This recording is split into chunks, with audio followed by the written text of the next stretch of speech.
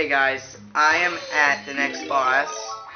Well, almost at least. Just shake on one of these flowers get to the other side, then do that one more time, and then you'll encounter it.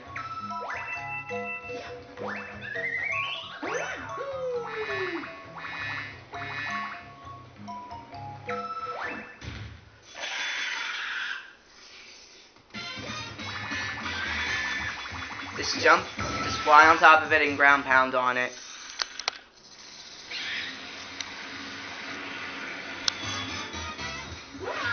I know it's it's just so hilarious when he flies around.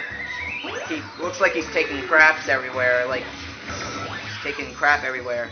Now the third time when you hit him, he he flies up in the air, and he's faster now, and he also can tilt over left and right. So just like when he goes back over, then crush him. Then he should be dead.